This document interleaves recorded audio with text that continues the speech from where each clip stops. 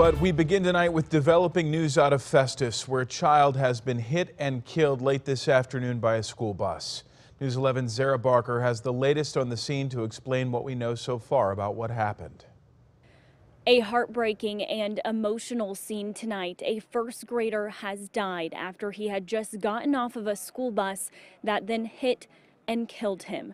We are just south of Festus in the Oakland Manor subdivision in the Plattin Township. Bommarito Automotive Group Skyfox was over the scene just before the sun went down. Emergency crews are still on the scene this evening and Missouri State Highway Patrol is investigating. The superintendent of the Jefferson County R7 school district says the bus had just left the first grader school, which was about half a mile away. This morning we were singing Christmas carols together. This is a bad day. It's a bad day for our school. It's a bad day for our community. And we're hurting. This was the last day of school for these students in this district before winter break started. We'll have more from the superintendent and the Missouri State Highway Patrol coming up on Fox 2 News at 9 and 10.